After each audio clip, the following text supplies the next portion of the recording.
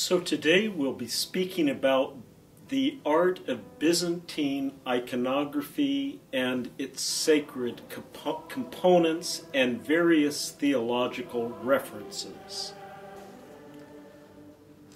Let's start from the beginning. Many people would have a question as to what is an icon. Icon refers, of course, to the Greek word meaning image. And in this case, we're talking about a sacred image, a sacred Christian image in this case, in that the icon refers to people and things that are not simply contained within history. So by, by that we would be referencing a theological reality the icons are oftentimes referred to as windows or doorways because they reference uh, people and things that aren't simply contained within our reality. When, when we speak of an icon as being a window, we would suggest to you that it's not so much you approaching the icon, you being the viewer, but more that there is someone standing at this window and you are the one being viewed. But you open yourselves up, we open ourselves up to the reality in this case of a woman holding a child, which from the perspective of Byzantine theology is the central mystery not only of, of Christian faith, but of, of uh, an understanding of why it is that we paint icons. That if it is in fact that the unknown, incomprehensible, invisible, uncontainable God chooses, condescends to enter into the material world, to take on a name, to be contained in the womb of his mother, then it is possible that we, the human artists, can depict this reality of incarnation. That's what we're celebrating in the icons, is the theology of incarnation, a God who chooses to enter into our world and become a human being, to take on flesh. The two primary truths that define Orthodox Christian spirituality is that of the incarnation, as we have referred to in this icon, and that of the resurrection. We would say that every icon, whether it's an icon of Christ being held in the arms of the Virgin Mary, whether it's an icon of Christ himself, as we will refer to a little later, or an icon of St. Barbara, or Saint Damien or any of the saints in the calendar that are depicted in iconography, that all of them are reflections of this mystery of incarnation and resurrection. Many people on coming into our churches will see that, that walls are decorated with various iconographic images, and they might suggest, if it is not their own tradition to depict images on the walls, that these are pictures of dead people, all people that have died in history. Granted, maybe they've lived great Christian lives, maybe they've been martyred, but they're all dead. And of course, we would say, well, in fact, they're alive. They're more alive than probably most of us are today. We're sort of the, the half dead. They're the fully alive because Christ promises, I am resurrection, I am life. And th those that have died, it is central to our belief in Christ that when they have united their life to His, they, they become filled with the power of the resurrection to live on. And so we depict them as being images full of light. There's no shadows in the iconography, which is true, sometimes makes the images look very flat. And, and that would cause some people to say, oh, you know, I don't really like the icons because it doesn't depict people in the most beautiful light. Well, in fact, what we're trying to communicate is the most beautiful light, a light that is coming from within the person who's been transfigured by that light that is Christ, as Christ says of himself, I am the light of the world, John 8 12. So in the icons, we depict that theology. It's not just Christ who becomes light, he will also refer in the Gospel of Matthew to us becoming vessels of light. You are the light of the world, you are the salt of the earth.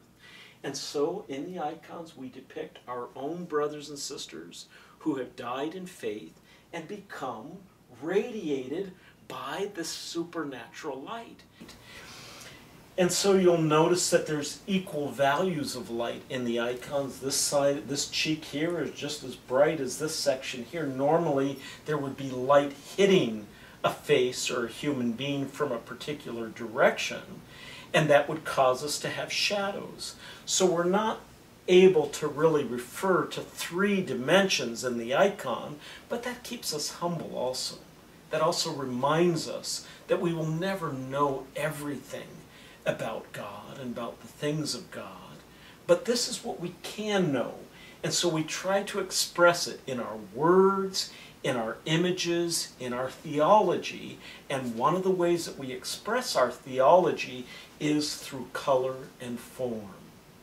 It might be interesting and important for us to take note of the fact that the icons do, on the one hand, continue to convey traditional theology.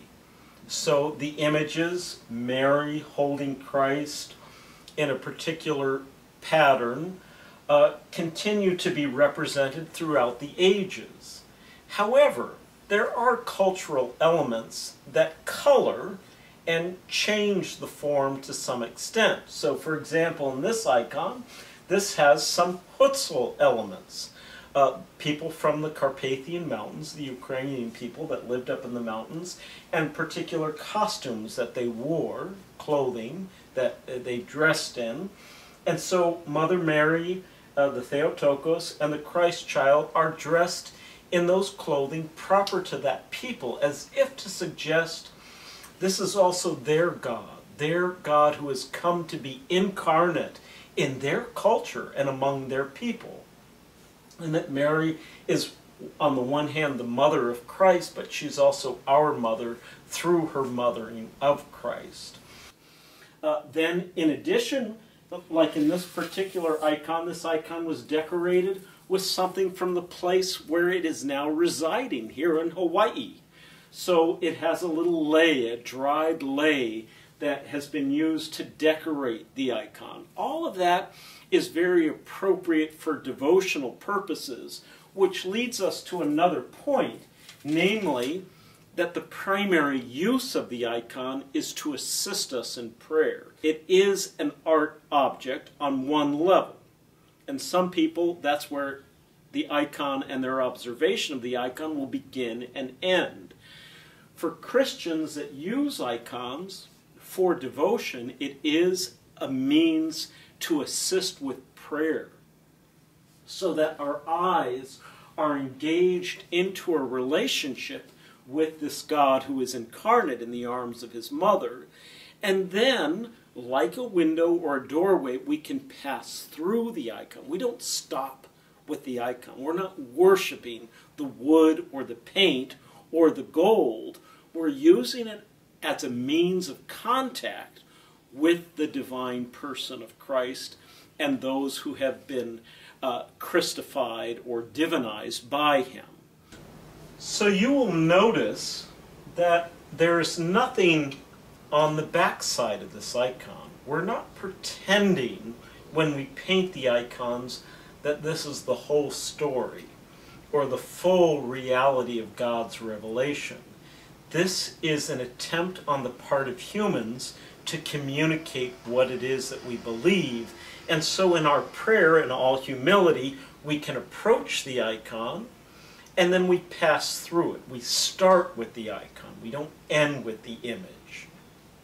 Because if with every icon that we have, obviously this is a very beautiful icon and very beautifully executed. However, uh, we, we uh, would still not want to say that this is how exactly how Christ looks in heaven. That's not something for us to possess. It's oftentimes when people ask us, Are you saved? Of course, the traditional Christian would never ask that question because we never think of salvation as a product, as unfortunately most American Christians would do. We know of it to be a process, a lifelong process that continues to the moment of our death and when we are greeted in heaven by the angels and Christ Himself. Every Christian icon, whether it explicitly depicts Christ or not, is a reference to Christ. Many people ask us, well, how is it that a Christian can venerate an image of Mary or John the Baptist or uh, St. Barbara, St. Damien, St. Martha and Mary, or, or whoever? How can you venerate that image when only Christ can be worshipped? And we would remind them, first of all, that we don't worship the icons as we said earlier. They're simply means of devotion that lead us into prayer. But also, we can depict the images of the saints because they, like St. Paul could say, that it is no longer I who live, but Christ who lives in me. So, in a, in a sense, even when we are venerating St. Barbara, we are venerating in her one who has become what we would call Christified or deified. Christ and his light is dwelling and radiating in her and out of her in the iconographic form. But when we refer specifically to icons of Christ, again, we follow very strict forms that we try to be faithful to, but they're adjusted according to cultural norms or what was available to the iconographer in the place that they were painting. So different iconographers have throughout, even traditionally, have used different palettes for their painting of icons. In this particular image, this is the icon of Christ's face called the icon not made with human hands. And it's a reference many Western Christianers refer to, uh, Western Christians will refer to the image of Saint Veronica holding the veil where Christ's face appeared when she went to go and wipe his face. And there may be actually a connection between the Byzantine devotion and the Western devotion, as there often is, not a contradiction but a complementarity between both Eastern and Western Christianity, that in the, the name Vera Icona, or true icon, we have a reference to the older Byzantine story that King Abgar of Edessa sent ambassadors or emissaries, people that would plead with Christ to come to Edessa. He was sick and dying. And he, he needed healing, and, and magicians and doctors couldn't help him. So it was that he came to the disciples of Christ and they said, No, no, Christ can't go to Edessa he must serve, uh, accomplish his father's will by staying here in Jerusalem.